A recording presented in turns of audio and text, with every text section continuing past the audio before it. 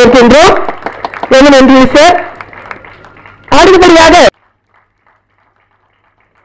நம்மளுடைய அடுத்தபடியாக திரு மன்னன் அவர்களை மேடைக்கு வரவேற்கின்றோம். ஒளிப்பதிவாளர் திரு ராம்ஜி அவர்கள் வருகை தந்துள்ளார்.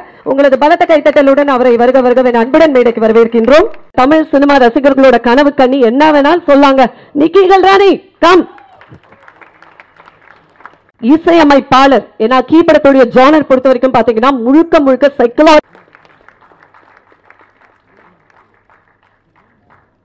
யார கூப்பிட போறேன்னா ஏன்னா நம்ம ஜீவா சாரை வந்து சமாளிக்கிறது ரொம்ப கஷ்டம். ஏன்னா ஆன் ஸ்கிரீனும் சரி ஆஃப் ஸ்கிரீனும் சரி இந்த விஷயங்கள்லாம் எதிர்பார்க்கிறேன்.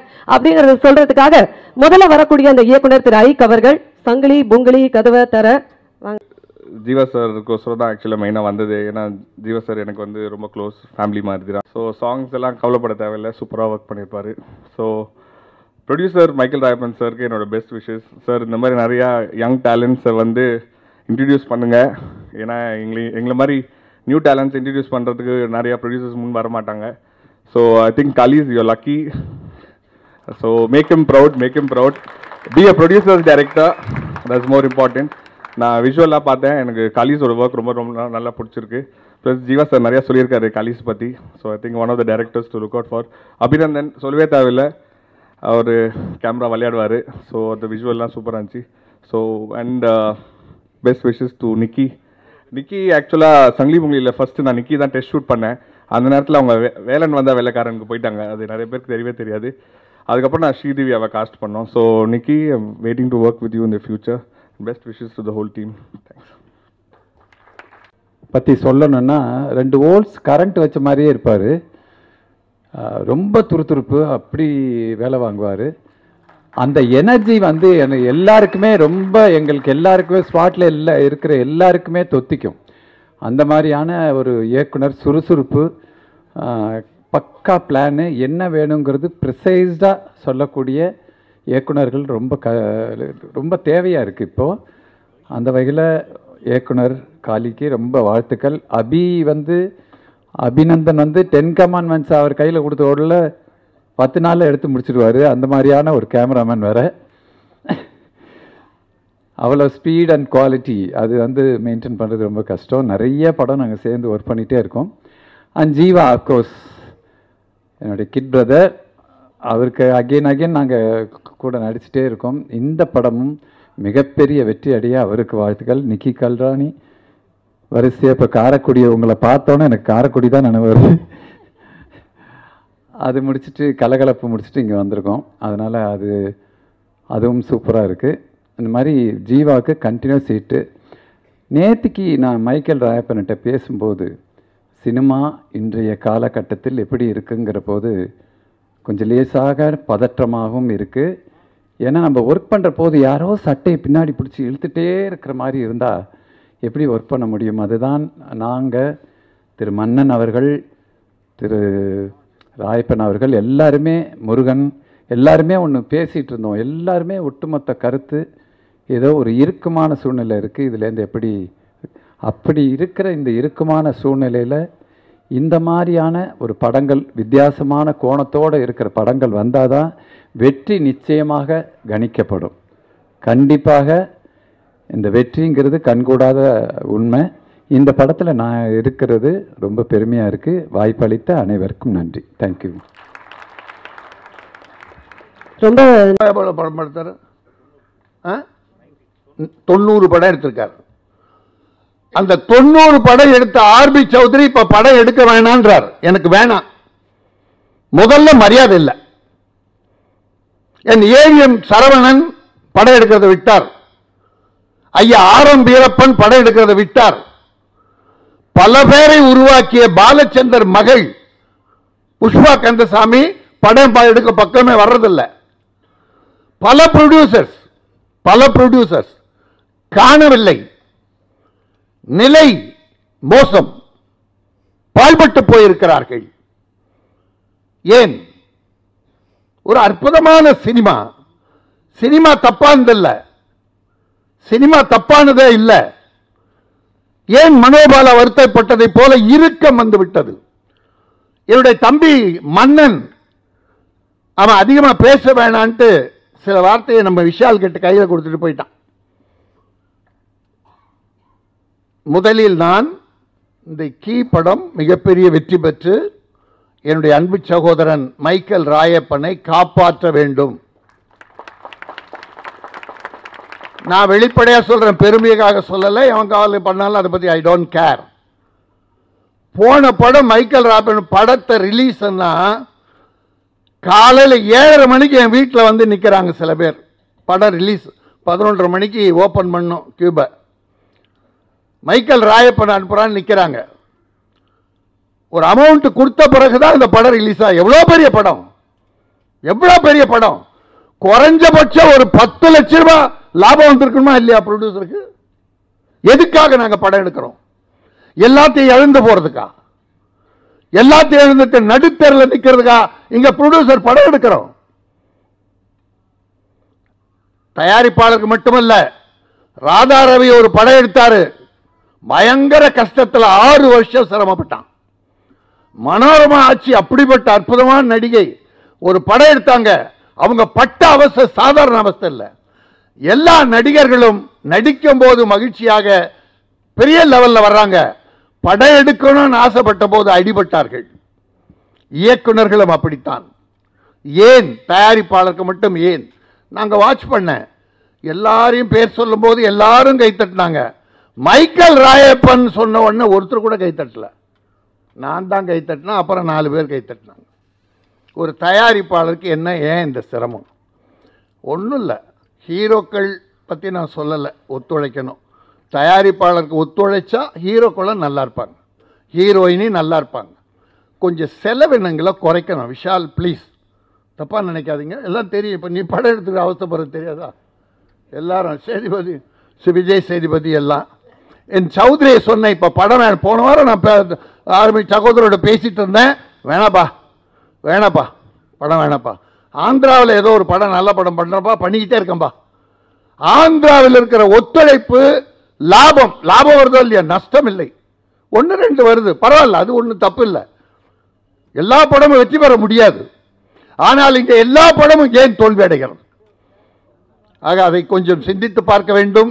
மன்ன சொன்னதை கருத்து கொண்டு என்னுடைய தயாரிப்பாளர் சங்கத்தின் தலைவர் என்கிற காரணத்தாலே விஷாலிடம் சொல்லுகிற முதல் உரிமை எனக்கு உண்டு.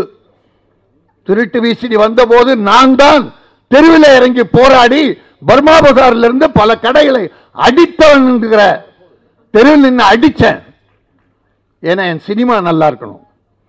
யாரோ சம்பாரிச்சு யாரோ உழைச்சி செலவழிச்ச பணத்தை எவனோ சாப்பிட்டுட்டு இருக்கான். நான் ஒன்றே மேடையில் இருக்கிறதை கேட்கிறேன். யாருக்காக நாங்கள் படம் தயாரிக்கிறோம்? எங்களுக்காக இல்லை ஒன்று மற்றவங்க பரவாயில்ல நடிக்கிறவங்க சிரமப்படுறாங்க டைரக்டர்ஸ் எல்லாருமே டெக்னீஷியன்ஸ் எல்லாம் பரப்படுறாங்க எல்லாரும் நல்லாவே இருக்காங்க.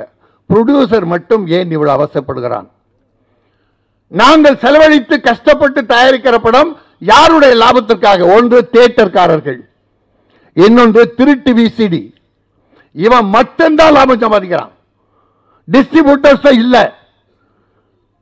முன்னெல்லாம் எம்ஜிஆர் படம் சிவாஜி படம் ரஜினி படம்னா மஞ்ச பையில பூஜைக்கு ஒரு பணம் கொடுப்பாங்க.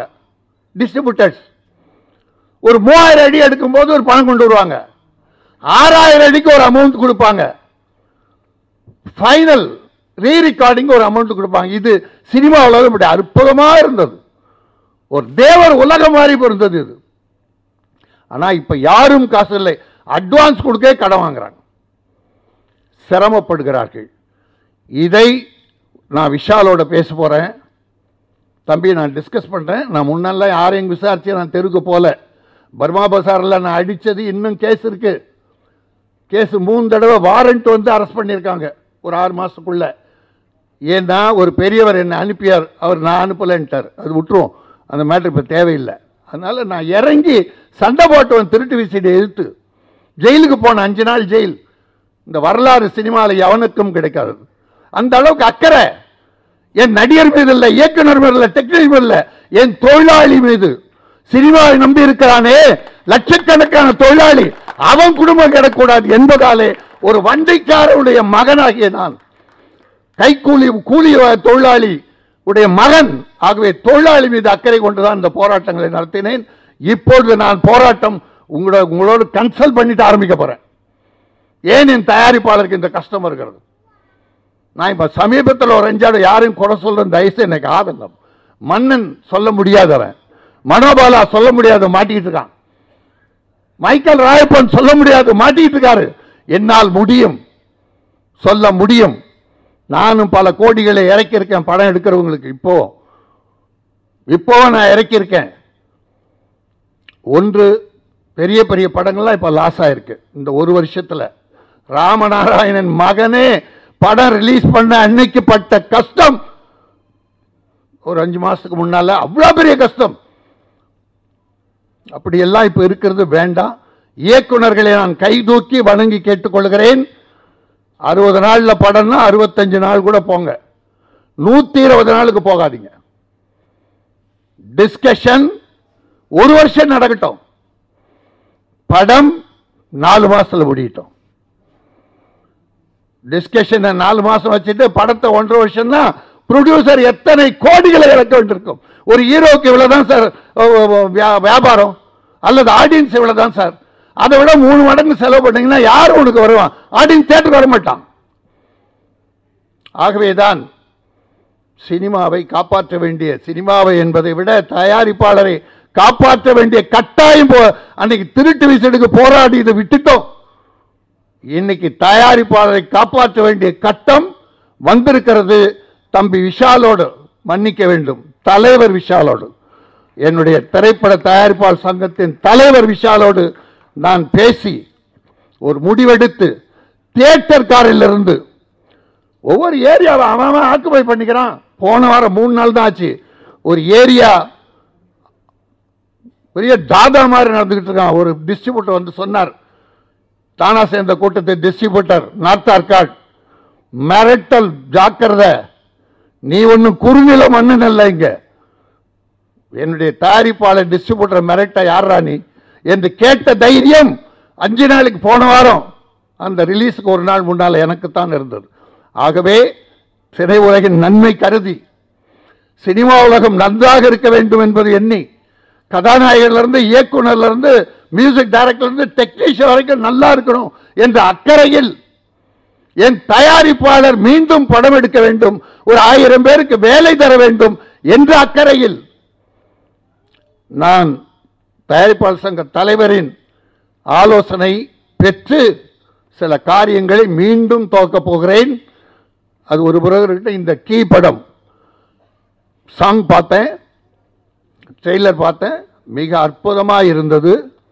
அதனால தான் நான் ஆரம்பத்தில் ஒன்றே ஒன்று சொல்லி ஈ படம் போலே இந்த கீ படமும் வெற்றி பெறும் என்கிற வாழ்த்தினை முதல்ல சொல்லிட்டேன். மியூசிக் டைரக்டர் நல்லா பண்ணியிருக்கீங்க சார். அற்புதம் தம்பி. நல்லா பண்ணுங்க. ப்ரொடியூசர் கொஞ்சம் காப்பாற்றுங்க லண்டனில் போய் தான் மியூசிக் அமைத்தோம் தயவுசெய்து சொல்ல வேண்டாம். இளையராஜா இன்னும் அந்த பிரசாதத்தில் தான் உட்காந்து பண்ணிட்டு இருக்காரு வருது. எப்படியோ இசை ஞானம் வருது. லண்டனில் போய் எல்லாம் பண்ணால் ஒன்றும் அப்படி இல்லை. வேண்டாம். ப்ரொடியூசர் கொஞ்சம் சிக்கனமாக என்ன பண்ணுவோம் டைரக்டர்ஸ் தயவுசெய்து டைரக்டர்ஸ் கைகூப்பி வணங்குறேன். நீ பெரிய ஆளாரு சின்ன ஆளாரு ஐ டோன்ட் கேர் ப்ரொடியூசர் காப்பாற்ற பாருங்க. வீண் செலவு வச்சு அநியாயமாக ப்ரொடியூசர் படம் ரிலீஸ் அப்போ அவன் படுற அவஸ்தை ஒருத்தரும் வந்து நிற்கிறதில்ல ஒருத்தரும் ப்ரொடியூசர் பக்கத்தில் நிற்கிறதில்ல ஆனால் நோட்டீஸ் மட்டும் எனக்கு- எனக்கு எண்பத்தி ரெண்டு ரூபா பாக்கி. அதை செட்டில் பண்ண சொல்லுங்க பெப்சியே வரும் அது வரும். ஆனால் தொழிலாளிக்கு சம்பளம் கொடுத்தணும் சார். அதை மட்டும் எவனும் பாக்கி வைக்கக்கூடாது இந்த படம் மிகப்பெரிய வெற்றி பெற்று என்னுடைய தம்பி மைக்கேல் ராயப்பனை மீண்டும் பல புது இயக்குனர்களை உருவாக்கி வர வேண்டும். நன்றி வணக்கம்.